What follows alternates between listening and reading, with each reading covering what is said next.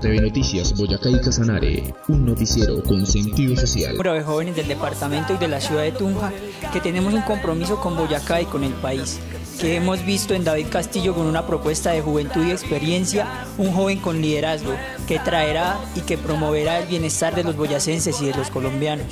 Somos más de 1.200.000 colombianos que hemos vivido, que nacimos en el departamento de Boyacá y que a pesar de que no nos unen las mismas banderas políticas, nos une un solo ideal y es el deber el bienestar de nuestro departamento. Por eso hago un saludo extensivo y una invitación a cada uno de los boyacenses y de los colombianos para que apoyemos esta propuesta de cambio radical número 34 y poder consolidar también al partido como el movimiento político más grande que tiene Colombia. TV Noticias Boyacá y Casanare, un noticiero con sentido social.